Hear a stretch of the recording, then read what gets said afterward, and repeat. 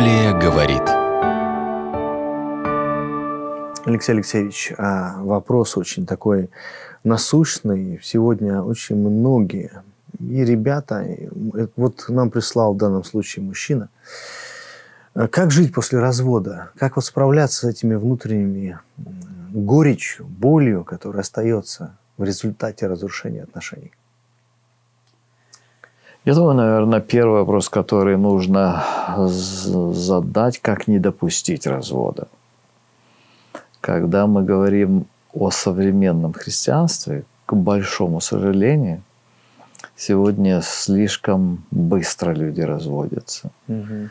Если взять в истории э, евангельских церквей, и в России, и в Америке. В Америке это немножко раньше пришло, в Россию это при, пришло с последними десятилетиями. Так вот, раньше э, люди намного э, более сдержаны были в том, чтобы прибегнуть к этой последней э, мере, которую mm-hmm. люди при, применяют для решения конфликтов во взаимоотношениях.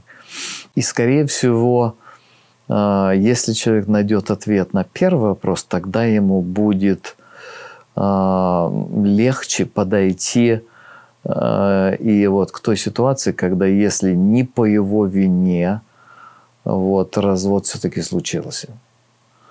Наверное, самый главный ответ на эти оба вопроса заключается в том, что источником жизни, источником удовлетворенности для каждого конкретного человека может быть только Иисус Христос, но никакая другая личность.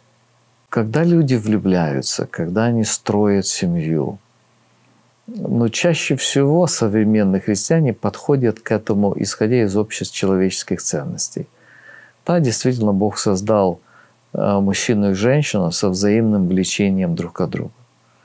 И это влечение, естественно, заложено, и оно движет, и оно приводит к чувству, оно приводит к восхищению, оно приводит к наслаждению, оно приводит к какому-то периоду, может быть, даже хорошей, радостной, счастливой жизни, может быть. Но дело в том, что вот эти чувства, которые есть внутри человека, они омрачены грехопадением.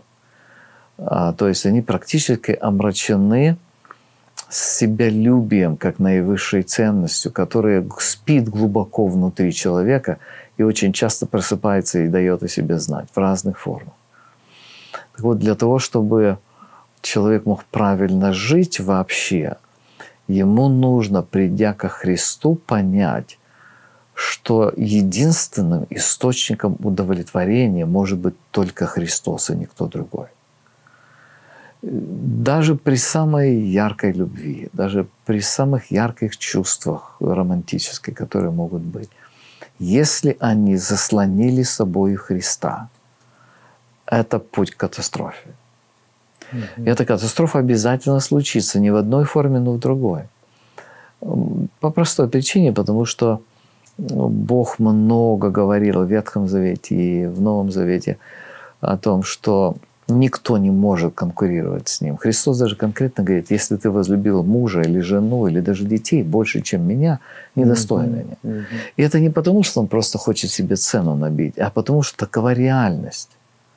Если ты не научился любить Христа, который является наивысшей ценностью в наивысшей степени, то тогда ты постоянно будешь сталкиваться с проблемой. И что получается вот в ситуации, подобной этому человеку? Скорее всего, где-то что-то было нарушено в отношениях со Христом. И потом, когда вот то, что представляло собой, что с чем связано было счастье, надежда, будущее, жизнь, и вдруг это что-то испарилось, пропало, разрушено было чьей-то неверностью, чьей-то вероломностью, вот, то тогда человек, конечно же, остается и у разбитого корыта, он, его жизнь разбита его будущего нет, у него надежды нет. И причина, почему это происходит, в том, что не было изначально выстроено глубоких отношений с Иисусом Христом. Mm-hmm. И, скорее всего, это и привело к тому, что, я не знаю, конечно, обстоятельств всех, но, но чаще всего именно это и приводит к тому, что вот подобные вещи случаются. Что теперь делать? Теперь нужно понять, что Вот, была совершена ошибка большая. И нужно вернуться к истокам. Нужно понять, что жизнь связана прежде всего с тем, что душа получит от Бога. У нас есть много земных ценностей, которые мы теряем. Мы теряем здоровье, мы теряем имущество, мы теряем работу, мы теряем друзей. Вот в его ситуации он потерял супругу.